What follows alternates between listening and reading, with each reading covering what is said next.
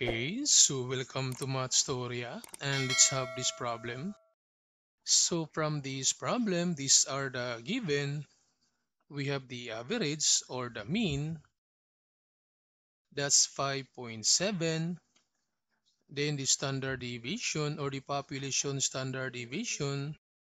That's 1.7. Then we have this the sample size, 35 high school students. That's n. That's 35. So to compute for the z-score for 6 hours of sleep, so first, we need to convert this population standard deviation to sample standard deviation using this formula that the population standard deviation over the square root of the sample size. So we have 1.7 over the square root of 35. So therefore, the sample standard deviation, so we have 1.7, then divide by square root of 35 equals, so the sample standard deviation is 0.2874. So 0.2874.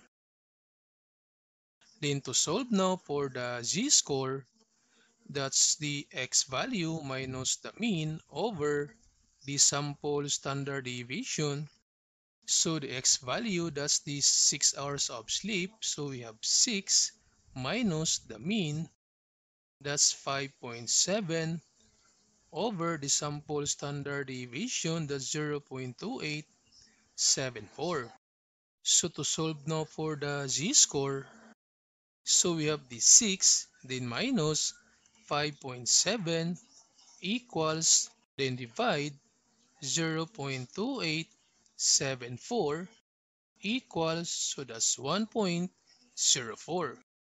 So z-score is 1.04. So therefore the answer is letter A. Then for this problem, so what is the probability that a randomly selected group of 35 high school students gets more than 6 hours of sleep each night? So in a normal curve,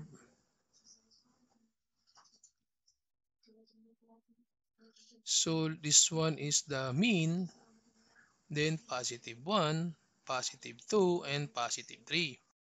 This one is negative 1, negative 2, and negative 3. Then since the z-score for 6 hours, that's 1.04.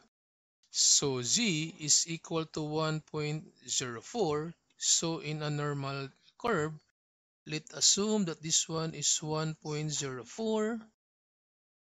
Then since more than, so therefore, we're looking for this area because this area is more than 1.04. Then from this uh, Z table, then take note that this area between the mean and the z-score, so this is the mean and this is the z-score, so therefore, we're looking for this area, that's 1.04. So to find the area of this 1.04, so we have 1.0, then this 0.04.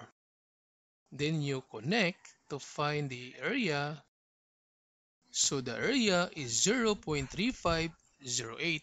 So this one is 0.3508. And to solve for this area, since half of the curve, the area is 0.5.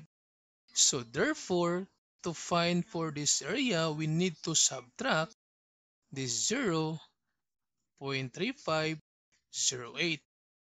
So we have now 0.5 then minus 0.3508 equals so the area is 0.1492.